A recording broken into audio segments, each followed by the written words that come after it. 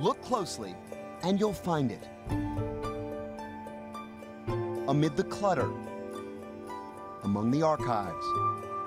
It's tucked away here in this room on the third floor of the Country Club. It is a story one century in the making. It is the story of American golf.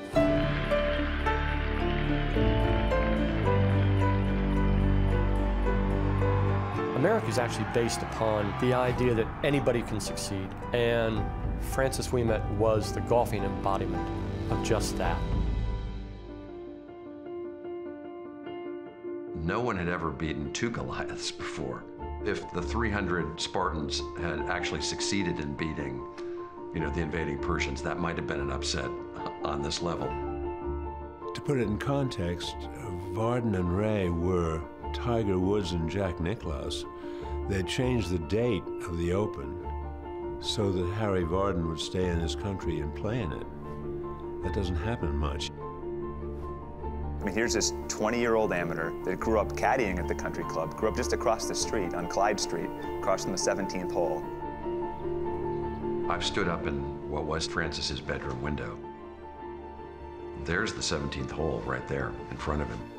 He dreamt of playing on that golf course his whole life. This place was his field of dreams. Because the story is so improbable to begin with, the pivotal hole in both the final round and the playoff would have to be the hole that he grew up looking out his window at, the 17th. In the final round, he trailed Vardon and Ray by one stroke, coming into 17. He was the last American standing. On 17, same hole that he looked out his window at every morning, on this green that he has putted on hundreds and hundreds of times, he gets the birdie to get into the playoff, and he gets the birdie in the playoff to really clinch it.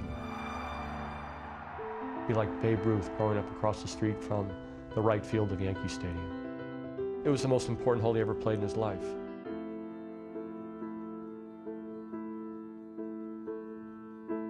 One century since that September day, the memory of Ouimet lives on. Not just in those dusty attic archives, and far from the fairways on which he grew up.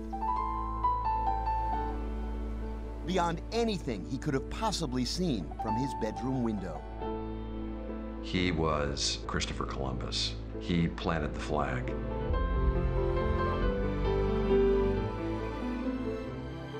Every player who came after him was in some ways, they were the sons of Francis.